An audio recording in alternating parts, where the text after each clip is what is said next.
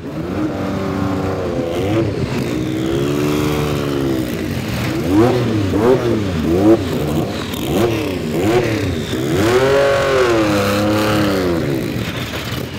the attraction of Goodwood for you, Derek? Well, for me, it's a very personal, selfish one in that my home, I was born, well, not far away from here, and I've lived all my life about five miles away down on a farm. And I had my first race of my life here with my Lotus 7 in 1964, which I won in the, in the rain. And it just my home track, you know. And then apart from that, wherever it would be, to have so many fantastic cars and people coming along would be wonderful. What, what is this car like to drive up the hill, Derek? Well, I probably wish you'd asked me afterwards, but it hasn't been driven much since it did Le Mans. And uh, it is the long tail version. Uh, the tyres, they tell me, are 15 years old. Well, I'm looking, really looking forward to this drive. you know, I just love the cars because they, they always did the right thing. You know, they, the engine worked, the brakes worked, and it was always responsive, and you knew you had a chance to win. It's a big car to be taken up the hill, Derek. How, close are you to the Flint Wall up there?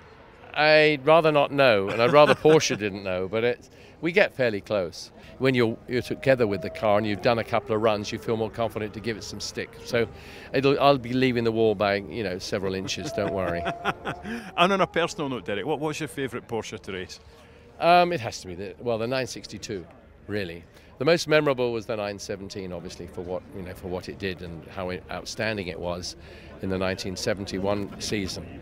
Um, but I mean, in all honesty, you know the 962 because we won after the 56, we then I won Le Mans I think three times or something with the 962. And I won three Daytonas and I was world champion twice in a 962 and I won a hell of a lot of races thanks to my teammates and great teams, of course. But you know, it's just such a fantastic car. Never really let you down. And looking at how they've progressed, how do these cars compare to modern Porsche race cars?